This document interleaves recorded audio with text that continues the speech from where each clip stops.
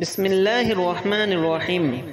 اگر کسی کے بدن پر ناسور یا کوئی داغ دھبا ہو، تو اس آیات کو اکچالیس بار دوا یا مرہم پر پڑھ کر پھونکے اور پھر استعمال کرے، انشاءاللہ داغ دھبا دور ہو جائے گا۔